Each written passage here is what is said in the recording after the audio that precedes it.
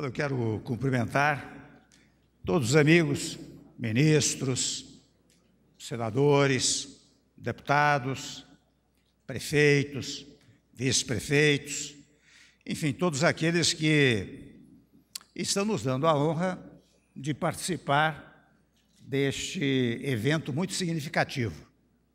O, o, o Beltrame conseguiu, na verdade, historiar tudo aquilo que foi feito na assistência social. É interessante cada vez que no meu governo, nosso governo, eu me dou conta do que nós estamos fazendo, eu digo interessante, fizemos muito em pouquíssimo tempo, que é um governo de dois anos e meio, nem isso ainda, portanto não é um governo de quatro anos, nem de oito anos, mas eu penso que nós revolucionamos várias áreas, entre elas a criação de sistemas especiais. Quando Beltrame fala no SUAS, no Sistema Único de Assistência Social, nós criamos há pouco tempo também o SUSP, o Sistema Único de Segurança Pública. Nós estamos uniformizando, não é? Nós estamos uniformizando as ações governamentais no plano federal. Mas com uma convicção, viu, Padilha, viu, Beltrame, muito acentuada. A ideia de que nós precisamos fortalecer os municípios brasileiros e os estados brasileiros. Eu digo sempre que a União será forte se os municípios e os estados igualmente forem fortes fortes economicamente, socialmente, politicamente. E é interessante como, às vezes, é, quando você volta os olhos para coisas que aparentemente são de pequena relevância, mas eu sou do interior do estado de São Paulo e sei o que significa. Até depois eu vou verificar se a minha cidade foi aqui em Roda, viu? Mas eu, mas eu sei o que significa. Eu sei o que significa a chegada de um ônibus destes que eu acabei eh, de conhecer que é um ônibus moderníssimo, com coisas que eu só vi, confesso, eh, na Europa e nos Estados Unidos, no tocante a deficientes, que tem todo um mecanismo especial para acolhimento dos idosos e dos deficientes. Isso tem um significado extraordinário em todos os municípios eh, brasileiros. Portanto, um avanço da maior importância para esse sistema único da assistência eh, social. Portanto, estamos meios né, para que o povo do município possa melhor desempenhar até a sua atividade, as autoridades eh, municipais. Então, eu quero dizer que neste momento nós estamos entregando cerca de 500 veículos, não é, Beltrame? 500 veículos, e ele já botou. Viram que ele, assim como Osmar Terra, ah, num passado muito recente, não é? quando cuidou da questão do Bolsa Família, e aqui faço um corte, interessante, o Bolsa Família deixou de ser utilizado eleitoralmente. Vocês vejam que, na verdade, ao longo do tempo, foram excluídos eh, milhares né, de bolsistas família, porque era gente que tinha carro, eram vereadores de cidades do interior, gente que ganhava dinheiro, portanto não, não precisava do Bolsa Família. E tinha uma fila imensa, não é, Osmar? Não é, Beltrame? Uma fila imensa no Bolsa Família que foi zerado, ou zerada, precisamente no nosso governo. E sobre ter sido zerada, aqui vai mais um tópico da assistência social que o Beltrame é, salientou, nós demos, depois de dois anos e meio que não se dava aumento para o Bolsa Família, né? nós que, quando assumimos o governo, segundo ah, os que lançam maus agouros, né? diziam, ah, o Temer vai acabar com o Bolsa Família, nós demos dois aumentos acima da inflação não é verdade? E isto. E isto fez, parece pouco, mas quando você dá um aumento para 14 milhões uh, de famílias, Edivaldo Brito, você, você pode imaginar o que significa isto para uh, os pequenos armazéns, as chamadas vendas no interior, no interior mais remoto, né? uh, do sul, sudeste, centro-oeste, nordeste, norte, né? significa um aporte na economia daquelas localidades, não é? Agora, interessante, quando nós assumimos, o, o Osmar Terra inauguralmente, e depois o Beltrame, já o Beltrame desde então, não é? Nós verificamos que a verdadeira inclusão social não dava apenas pela manutenção do Bolsa Família. É preciso fazer com que as pessoas progridam, ou seja, que as pessoas possam ter uma tal atividade que lhes permita a sua inserção no meio social. A inclusão social se faz por mecanismos que permitam a introdução daqueles, especialmente dos filhos dos bolsistas família, em empregos. E foi lançado o programa Progredir, que visa exatamente, com empresários que aqui estiveram, da mais variada, dos mais variados setores, visa exatamente a contratação daqueles filhos de bolsistas famílias. E hoje são mais de 220, 230 mil bolsistas, filhos de bolsistas famílias, que se introduziram, portanto, estão progredindo. Então, nós estamos fazendo uma verdadeira inclusão eh, social. De outra parte, eu quero dizer que nós tomamos medidas interessantes, medidas singelas, não é? Que seriam apuráveis, verificáveis em governos anteriores, mas não, não o foram, não é? E, e Celoão, agora eu peço à imprensa que registre a mesóclise.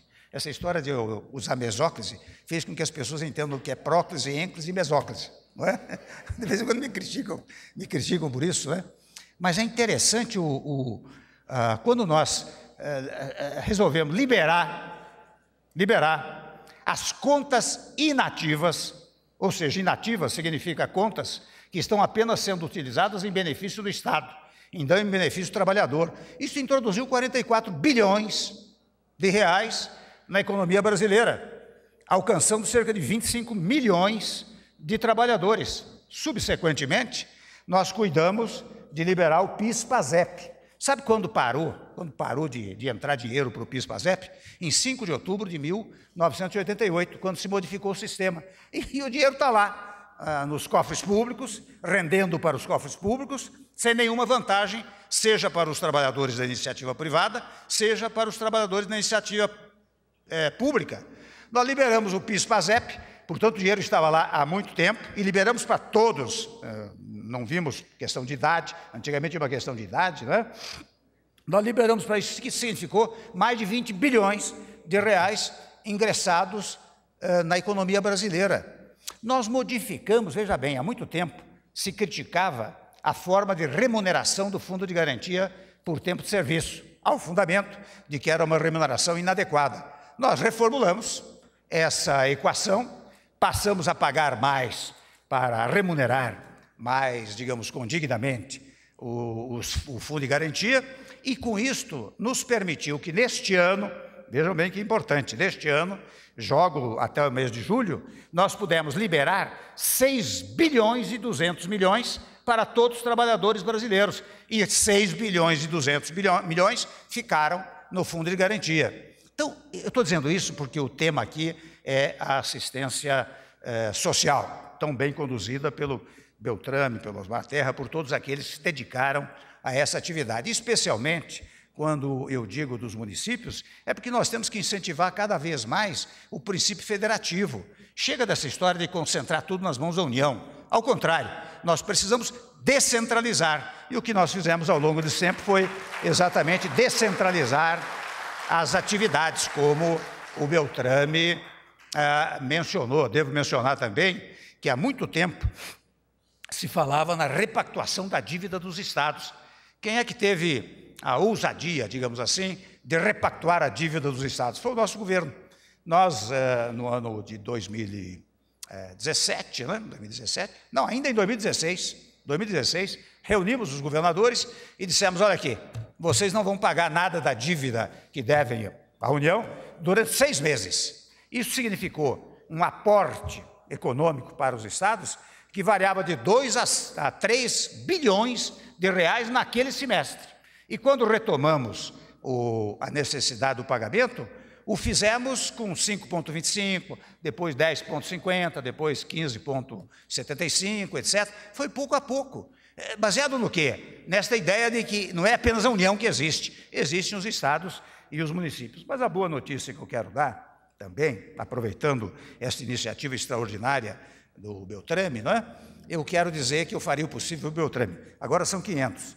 Você já prometeu para o ano que vem mais 500 ou, ou mil, uma coisa assim. Os deputados, né? vai depender dos deputados e senadores. Mas eu quero dizer que naquilo que me couber, eu quero ver uh, se faço uma reequação dos valores que remanesceram. Vocês sabem que neste ano nós tínhamos um teto de 159 bilhões, e nesse teto de 159 bilhões, nós fizemos sempre orçamento prestigiando, prestigiando educação e saúde, sempre aumentando as verbas de educação e saúde. Eu digo isto porque muitas vezes nos diziam que a PEC do teto dos gastos era, era a PEC da morte, que ia acabar com educação, saúde, turismo, transparência, então nossos ministros aqui, né? e ao contrário, nós sempre aumentamos uh, essas verbas. Então, uh, neste ano que o déficit estava estimado em 159 bilhões, é possível que remaneçam ainda uns 20 bilhões, ou seja, ou seja, eh, nós tivemos tais conquistas, sem embargo, de termos feito tanto pelo país, tantas aplicações, Melis, que na verdade é possível que o déficit eh, nem se atinja o valor do teto em face do nosso governo. E por isso, eu estou chamando planejamento, fazenda, para dizer, vamos pegar mais alguns milhões aí e vamos dedicar esses ônibus aí. Quem sabe damos mais uns 500 ou 600, não é? E olhem, meus senhores, meus amigos, meus amigos, minhas amigas, nós fizemos tudo isso com muita tranquilidade, apesar de que vocês sabem como nós fomos bombardeados ao longo desses dois anos bombardeados com as tramas mais, se me permite a expressão forte, indecentes que se puderam construir no país. O bombardeio foi enorme, mas o nosso governo não se intimidou. Ao contrário, o nosso governo continuou. É? E continuando, pudemos fazer o que fizemos com uma equipe extraordinariamente coesa ao longo de todo o período. Não há divergências entre é, a equipe, o, todos trabalharam uh, em conjunto, não é? E, e interessante, o, o, o, o Beltrame disse: oh, tem mais 50 dias uh, pela frente. Eu fiz um cálculo aqui, Beltrame, significa que nós temos, uh, como nós não trabalhamos mês a mês ou dia a dia, nós trabalhamos hora a hora, nós temos 1.200 horas pela frente. Nós vamos trabalhar 1.200 horas em benefício do Brasil.